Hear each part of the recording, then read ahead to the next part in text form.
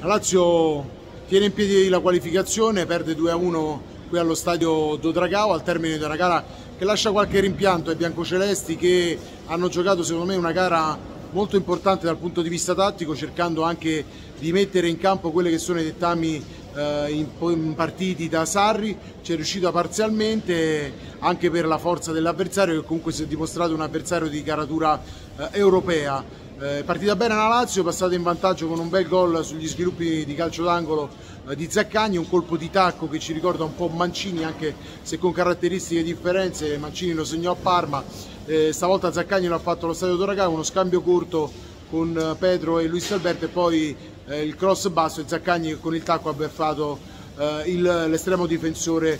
portoghese. Il, ha reagito il, il Porto e lo ha fatto però in maniera secondo me anche abbastanza di inerzia, di nervi, di fisico, eh, senza, mettendo in piedi quelle che sono le sue caratteristiche ma senza eh, grande precisione. Poi però ecco la giocata di Tony Martinez, una mezza dormita da parte di Luis Felipe e il pareggio del Porto ha riequilibrato il match e rasserenato la squadra di casa che poi ad inizio ripresa si è, eh, di nuovo porta, si è portata in vantaggio eh, di nuovo grazie ad una leggerezza di Luis Felipe che ha lasciato lo stesso spazio a Tony Martinez che ha siglato il raddoppio, ecco due gol per questo attaccante di riserva del, del Porto che quindi hanno condizionato la gara e fissato il risultato finale. La Lazio però poi ha resistito a quelli che erano i tentativi di chiudere la qualificazione da parte del Porto e è andata vicina al pareggio in uh, tre circostanze, una con Milinkovic, una con Felipe Anderson, una con Zaccagni. Ecco, proprio Zaccagni,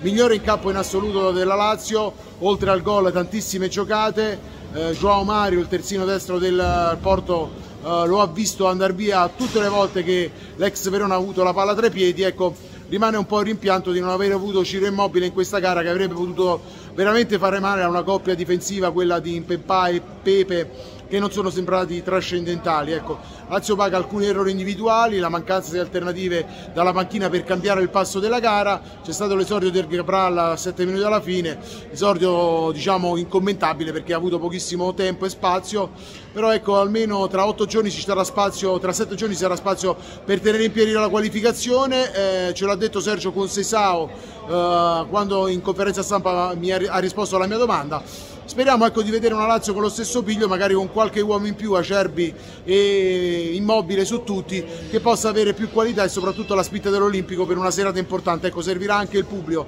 Tanti laziali quest'oggi a Doporto, circa mille, si sono fatti sentire, si dovranno far sentire però quelli dell'Olimpico che dovranno eh, creare un po' lo stesso catino che ha creato il pubblico qui del Porto. Per questo è tutto, un saluto e forza Lazio.